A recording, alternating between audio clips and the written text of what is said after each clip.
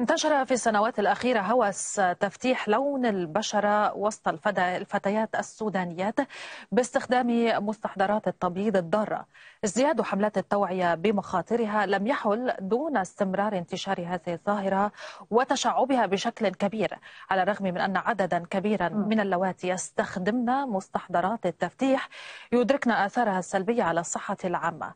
ارتباط ثقافة الجمال باللون الأبيض السائدة في المجتمع السوداني يدفع الفتيات إلى غض الطرف عن هذه المساوئ وهو ما تحاول العديد من المبادرات إلقاء الضوء عليه. ومن بين هذه المبادرات مبادرة سمراوية لصاحبتها هاجر باردو دوسا التي تهدف إلى مساعدة السمراوات الساعيات لتفتيح لون بشرتهن إلى اكتساب الثقة وتغيير مفهوم التبييض وتوضيح الأضرار الصحية والنفسية الخطيرة التي قد تترتب عن هذه العادة. سالي عثمان توضح لنا الصورة أكثر في تقريرها من الخرطوم. سحنات متباينة تتدرج من السواد وحتى البشرة الفاتحة. هكذا هي ألوان بشرة أبناء هذا البلد. لكن مواصفات الجمال بين الفتيات في السودان اختلفت. فأصبح لون البشرة البيضاء هو الهدف والعنوان الرئيسي للجمال.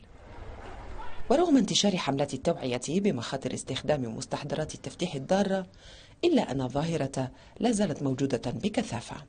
أنا عايزة أحصرها بس في اللي هو بنات السمراويات فالزول اللي هو بيمسح كريم بغير لونه لو جا ما حيضيف لي كثير يعني احتمال يأثر للناس اللي مع اسم راويات يقوموا هم يمشوا ويخلوا المبادرة بتاعتي. عشان كده أنا عايزة أحصرها في اسم راويات فقط ما عايزة إضافة عليها. لكن لغاية الآن 150 فتاة سمراوية سودانية معي في المبادرة. ومعي شباب برضه مساعديني وفي ناس كثيرة واقفة معي مساعداني غلاء مستحضرات تفتيح البشرة الكيميائية مقارنة بالمستحضرات الطبيعية. لم يغير كثيرا من واقع سعي الفتيات لاستخدامها. فمفعولها السريع الذي يحقق لهن بشرة أفتح لونا في أسرع وقت يشكل العنصر الأهم لديهن. دون الأخذ بالاعتبار ما قد تسببه من آثار جانبية سيئة قد تصل حد الخطر على الحياة. كريمات التفتيح للأسف مليئة بمادة الهيدروكورتيزون. ومادة الهيدروكورتيزون بتضر بالبشرة. يعني المشكلة من الكريمات دي أضرارها أضرار بتضر بالجلد. ممكن الكريمات دي هي ذاتها في كريمات بتأثر على القلب بتأثر على الكبد بتأثر على على الكلى بتأثر على الشعر. يعني حتى من أضرار الجانبية ممكن يقوم بشعر بكميات في مناطق مختلفة بالنسبة للجسم.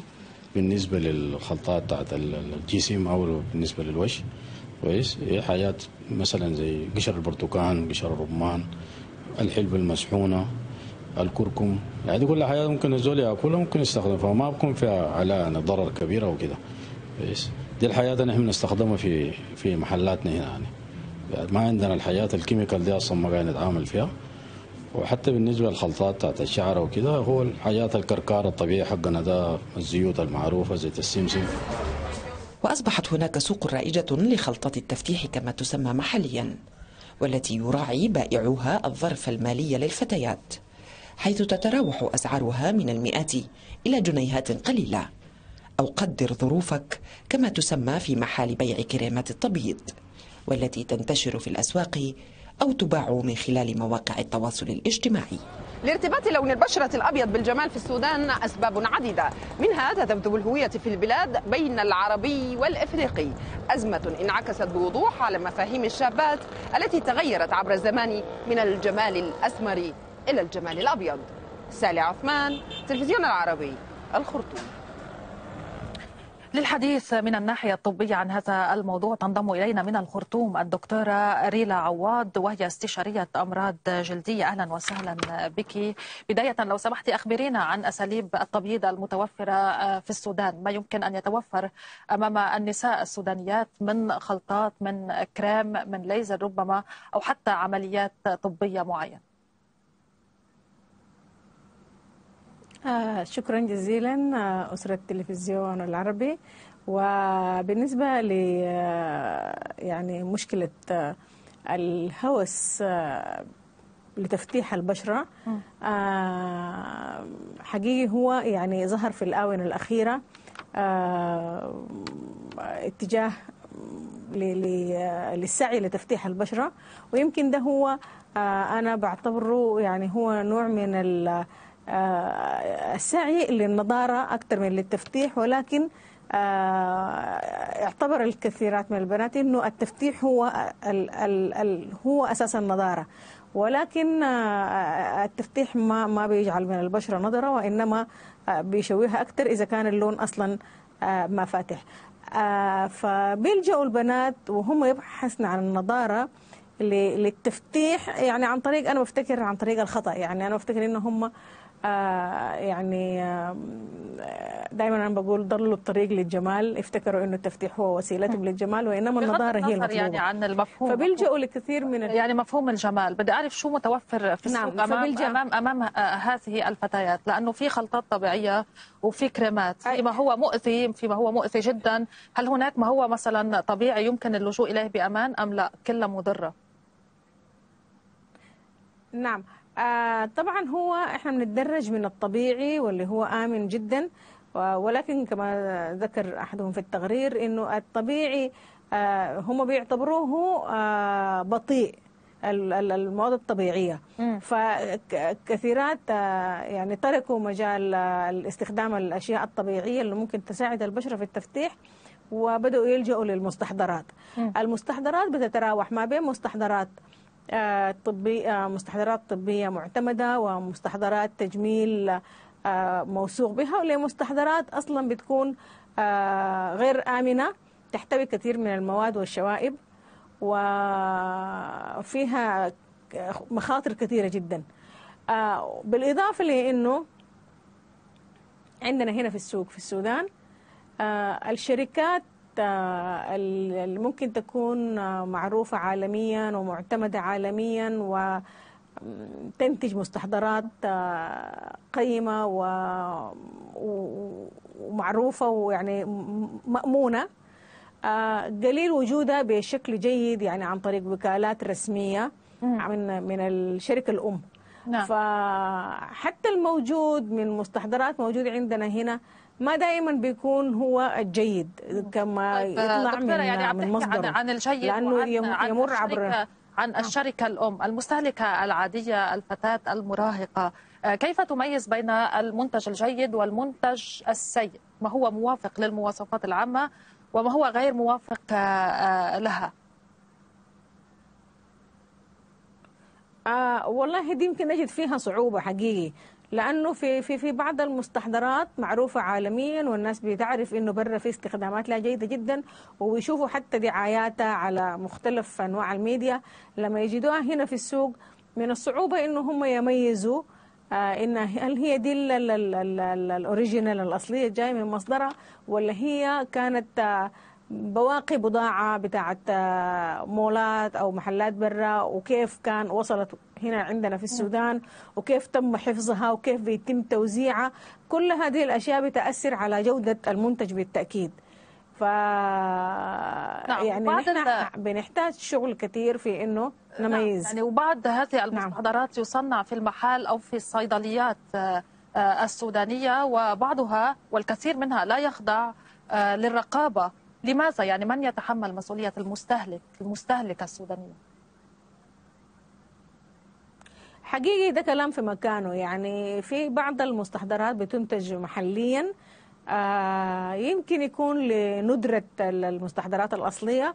الناس تلجأ لتحضيرها محليا ولكن أنا لا أؤيد هذه الفكرة لأنها يعني آه، تخلو من من من يعني عديد من المواصفات المفروض ينضبط بها إنتاج المستحضر. ف... فلا أيد استخدام أي منتج. ودائما أنا آه، بنبه البنات إنه آه، عمل ال- ال- ال- ال- المستحضرات المنتجة محليا آه، ما بيكون بالجودة الكافية. مهما كانت آه، يعني آه، الجهة المحاولة من داخل الصيدلية أو من داخل يعني في المهام حال تم لأنه ينتج الموضوع بشكل جيد. نعم في حال تم اللجوء إلى هذه المستحضرات والكثير نعم. منها في حال تم اللجوء إلى هذه المستحضرات الغير مرخصة أو ربما آه، غير يعني مركبة بطريقة علمية وذات جودة عالية. ما هي التداعيات على البشرة بشكل عام؟ أو التداعيات الصحية أيضا هناك تداعيات صحية كذلك لذلك. نعم. ال- ال- المستحضر ال- ال- ال- ال- الغير جيد اللي بطريقه ما سليمة أكيد بيكون اتغيرت تركيبته يمكن يدينا نتائج سيئة جدا لا تحمد عقباها. والمستحضرات ال- اللي بتتركب من مواد ابتدائية آه، على أساس إنه ينتج منها مستحضر آه، آه، يؤدي الغرض. يعني دي نحن بنقوم بنتكلم عن حتة بتاعت إنه في بعض المواد عندها درجة بتاعت خطورة. ما هي خطرة على الإطلاق؟ يعني آه، لما نتكلم عن الكورتيزون الكورتيزون ما خطر على الإطلاق. الكورتيزون خطر في الاستخدام الخاطئ وخطر في الاستخدام آه، يعني الكورتيزون عنده آه، مركبات كيميائية متعددة عنده آه، يعني درجات أو نسب متعددة في كورتيزون يستخدم لبشرة الوجه في كورتيزون يستخدم مثلا للظهر في كورتيزون لل- لل- للأرجل في كورتيزون لحالة خفيفة في كورتيزون لحالة متأزمة في كورتيزون لطفل في كورتيزون لكبار سن. فيختلف حسب الدرجة بتاعة الكورتيزون. لذلك آه، يعني نحن بنحذر من الكورتيزون لما ينتج بطريقة آه، ما عليها regulations أو ما عليها ضبط. إشراف ف... فال... فكده الكورتيزون. نعم, نعم، يعني في فالكورتيزون بالتالي ممكن يؤدي إلى مضاعفات. نعم وفي أيضا كذلك آه، يعني آه، مواد أخرى يمكن أن تكون مؤذية جدا توضع في هذه الكريمات أو في هذه الخلطات التي يقال إنها طبيعية ولكنها تلجأ إلى هذا النوع السيء جدا من المواد. دكتورة في حال اقتنعت امرأة ما وتريد إيقاف هذه المستحضرات. لكن بعض آه، المواد آه، تبقى يعني في الجسم لفترة آه، طويلة جدا. هل هل عليها أن تفعل شيء ما أم أنه يتم التخلص من هذه الترسبات بصورة, طبيعية يعني؟ الجسم يتخلص منها بصورة طبيعية. نعم. شكرا على السؤال لأنه دائما أنا بحب أوصل الوصية دي التخلص من هذه المستحضرات لازم يتم بالتدريج. لازم يكون آه، بالتدريج لأنه بالذات لما يكون فيها كورتيزون وإذا استخدم لفترة طويلة آه، انقطاعه المفاجئ بيؤدي إلى آه، رد أفعال. أها. وده اللي بيخلي كثير من البنات يرجعوا يستخدموه من جديد. لأنه مع الانقطاع المفاجئ يعني أنا لا لما أعرف واحدة بتستخدم نهائي ما بنصحها بإنها لا ده سيء وقفيه. فلازم اسحبه بالتدريج وفي نفس الوقت بحاول إذا كان يحتاج الأمر ندي بعض الكريمات المعتمدة اللي بتعمل نوع من الترميم للبشرة لأن البشرة بتكون في اللحظة دي مجهدة جدا. آه، إلى أن ترجع البشرة وتتحمل أي نوع من العلاج بعدها نتدخل من جديد. يعني في جميع الأحوال من المستحسن آه، استشارة آه، الطبيب. شكرا جزيلا لك الدكتورة ريلا عواد الاستشارية في الأمراض الجلدية من الخرطوم على كل هذه التوضيحات. والآن نتوجه إلى زميلة رانيا دريدي تطلعنا على معلومات وأرقام متعلقة بظاهرة تبييض البشرة بشكل عام. وكأن معايير الجمال تقتصر على اللون دون سواه لدى الكثيرات فتجد بيضاوات البشرة يتفانين في الحصول على السمرة بأي طريقة في مقابل سمراوات يعملن على تبييض بشرتهن. مهما كانت التكلفة. على أني سأركز في هذا العرض على السمراوات إذ اجتاح هوس تفتيح البشرة والحصول على البشرة البيضاء عددا كبيرا من الفتيات السمراوات ويعود ذلك إلى الإعلانات التجارية التي تروج صورة أن مقياس الجمال مرتبط دائما بصاحبات البشرة البيضاء. في السودان حيث يتركز حديثنا انتشرت في السنوات الأخيرة حالة من الهوس بمركبات ومستحضرات تفتيح وتبييض البشرة. وتتفاوت أسعار هذه المستحضرات حسب النوعية. وتبدأ من 7 دولارات وتصل إلى 583 دولارا. فأكثر. تعد كريمات وخلطات التفتيح أو التبييض من أخطر المشاكل التي تواجهها النساء في السودان. وبحسب آخر تقرير من مركز الإحصاء التابع لمستشفى الخرطوم للأمراض الجلدية فإن ربع الحالات التي تم استقبالها عام 2014 أي قرابة 21 ألف حالة كانت تشوهات ناتجة عن استخدام كريمات تبييض البشرة. ورغم التحذيرات التي قدمها المجلس القومي للأدوية والسموم في السودان حول خطورة 13 نوعا من كريمات التبييض إلا أنه لم يلقى أي صدى في الأسواق والصيدليات واستمرت عملية بيعها دون أي اكتراث بالمخاطر وفق تحقيقات محلية. وأكدت تقارير طبية أن المحلات التجارية التي تبيع كريمات تبييض البشرة عادة ما تلجأ إلى بيع منتجاتها بطريقة لا تتطابق مع المواصفات المطلوبة ودون الحصول على استشارات طبية. الأمر الذي أدى إلى تزايد أمراض الجلد وسط الفتيات. ومن الأمراض المنتشرة نجد تهتك الجلد وهو عبارة عن تشوهات تؤدي إلى تهتك خطير في الجلد وتظهر بشدة مع تكرار استخدام مستحضرات التبييض بالإضافة إلى سواد في البشرة أو ما يعرف بالكلف في الوجه وسرطان الجلد وغيرها. وينص قانون الأدوية والسموم السودانية الصادر عام 2009 على عدم جواز توزيع أو بيع أو عرض أي مستحضر صيدلاني أو مستحضر تجميل إذا ثبت أنه غير مطابق للمواصفات. وفي حالة مخالفة القانون فالعقوبة تكون بالسجن مدة خمس سنوات وبالإضافة إلى غرامة مالية. أيضا من الخرطوم تنضم إلينا هاجر دوسة وهي مؤسسة مبادرة سمراوية. أهلا وسهلا بك. يعني كما استمعنا رغم المخاطر الكبيرة التي قد تنجم عن هذه المستحضرات مستحضرات التبييض إلا أن عدد كبير من النساء السودانيات يلجأن إليها. يعني لماذا برأيك؟ خاصة أن الموضوع لم يعد حتى محصور بخانة الظاهرة تحول إلى نوع من الإدمان بالنسبة للكثيرات يا أهلين بيكي وأهلين بالناس اللي بيشوفونا كلهم. أول حاجة هم البنات كتروا استخدامه ليه؟ لأنه أصلا يعني بقى عندهم هوس كبير هوس بين الجمال الجمال بين البياض سمرة. أي واحدة في راسها إنه عشان أنا أكون جميلة لازم أغير لوني. فعشان كده الحاجة دي زادت كتير. أصلا لو رجعنا لورا خمس سنين لورا عشر سنين لورا كام ما في فالظاهرة دي كترت يعني من 2005 2006 اللي جاي فالظاهرة دي بقت كتيرة. نسبة لأنه واحدة عادة تشتغل لازم تغير لونها واحدة عادة تخش الجامعة لازم تغير لونها واحدة عرسها قريب عايز تغير لونها صاحبتها عايز تغير لونها عندها يعني أي شيء. فحتى بقت واحدة بس لما تكون ماشية الدكان لا لازم تغير لون عشان تمشي الدكان. فبقى عندهم هوس كبير إنه لا أنا أغير لوني عشان أكون جميلة. يعني هذه ربما النظرة بخصوص الجمال. بس أيضا يعني وكأنه في أزمة هوية.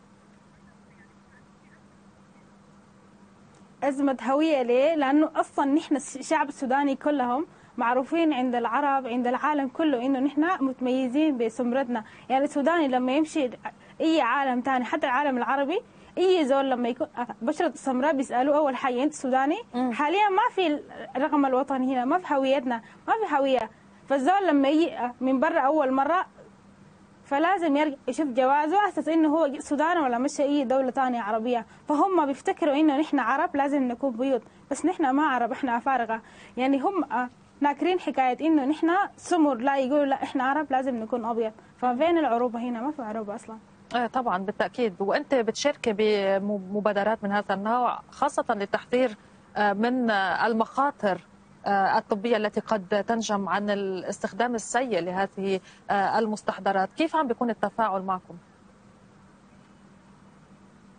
والله التفاعل الآن ماشي لغاية 50% 60% بالنسبة لكل الناس. لكل البنات السمراوات يعني ماشي 200% هم يتقبلوا الحاجة دي ويتقبلوا إنه في زول بدافع عنهم. يعني بالنسبة للبنات هسه زول لما ينزل بشارع العام نادر ما يلقى بنت سمراوية. فكل الناس بيحاولوا يعانوا هل بنت طبيعية؟ ليه طبيعية؟ لأنها ما غيرت لونها. فهم بيفتكروا إنه أي بنت في السودان لازم تغير لونها. والحاجة دي غلط كبير غلط كبير شديد شديد شديد مليون في المية. فالناس بقت تساعد على الحاجة دي والحاجة دي كترت ليه؟ لأنه بقت فيها نسبة كثير نسبة نشر كبير في السودان. عندك جروبات في الفيسبوك بيغروا الزول بيخلوا الزول حتى الزول اللي ما عنده رغبة بيرقبوه إنه يغير لونه. مثلا عندك في جروبات بيقول لك إنه خلال سبعة يوم انت تكوني بيضاء. يعني حتى الزول اللي ما عنده رغبة يقول أنا في سبعة يوم أكون أبيض أمشي أمسح الكريم أحسن أنا أكون أبيض. هي ما بتفكر الكريم اللي في سبعة يوم بيفتح فيه شنو من كيماويات فيه شنو بيعمل شنو اضرارها شنو سلبياتها شنو جانبياتها شنو. طب في دور سلبي كمان تلعبه. آه، شركات التجميل العالمية شركات مستحضرات آه، التجميل والإعلانات. أيضا في الكثير من الأحيان آه، تستخدم فنانات عالميات للتسويق خاصة آه، لتبييض البشرة. برأيك هل يجب الضغط على هذه الشركات أيضا؟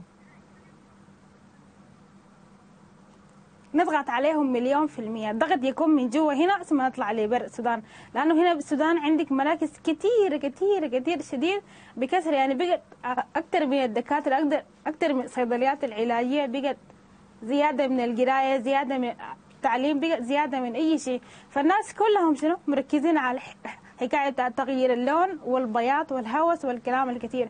فأي زول يعني مثلا أنا عندي قروج عايز أعمل مشروع بشوف البنات يا- بشوف شيء سايد هنا بالسودان شنو عشان أنا أق- أعمل عليه. فالزول بيقعد بفكر إنه لا البنات بي- بيمسحوا كريم أنا أنا أفتح لي بوتيك. خلاص البوتيك ده ماشي. عندي واحد تاني عايز يعمل له مشروع برضه يشوف بوتيك فلان ماشي. السودان كلها عبارة عن آه، بواتيك وكشك بتاع كريمات. وأكشاك بتاع تغيير اللون والكلام الكثير.